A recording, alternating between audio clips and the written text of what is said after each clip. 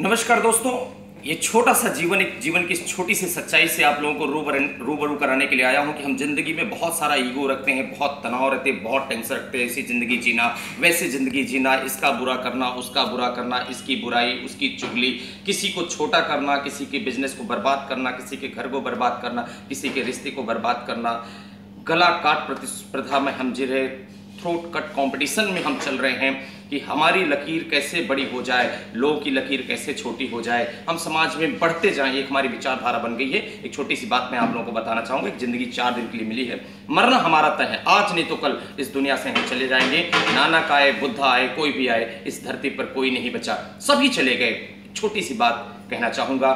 बुद्धा जी अट्ठासी साल की उम्र में चले गए। महावर जी बहत्तर साल में चले गए। नानक जी सत्तर साल में चले गए।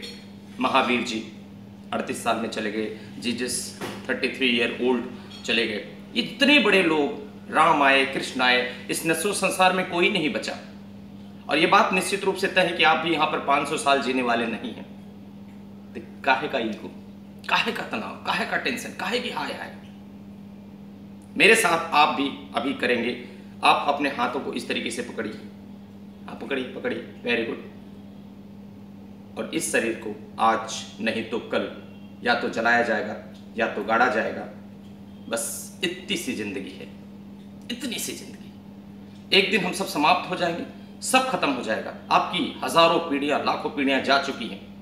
अगर आपसे पूछा जाए तो आप चार पीढ़ियों के नाम भी नहीं बता पाएँगे। फिर भी इतना ईगो हम है।